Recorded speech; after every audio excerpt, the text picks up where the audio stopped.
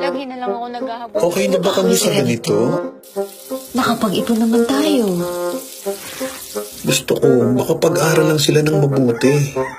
Gusto ko makauwi sila ng maaga sa trabaho. Trabaho malapit sa bahay natin. Gusto ko makagalaw ng maayos. Nagdadasal naman kami. Sayang yung oras. Panginoon ko, pakigyan. Sayang yung oras. Panginoon ko, Sayang yung oras. Sayang yung oras. Gusto ko nang lumipat!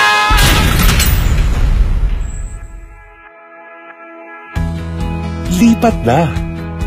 Live life to the fullest at Lancaster New City, your family-friendly city.